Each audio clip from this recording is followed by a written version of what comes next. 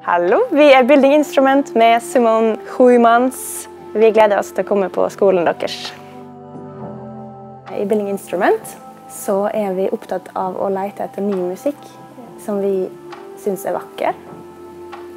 Og vi er heldige som kan jobbe både med fokus på å utvikle oss én og én, og samtidig som band.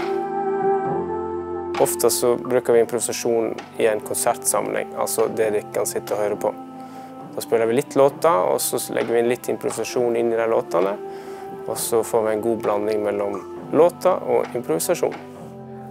Hvis en har en melodi og en annen har en rytme, så ser vi om det passer sammen. Og med animasjon kommer du i en slags drømmeverde når du hører på musikk.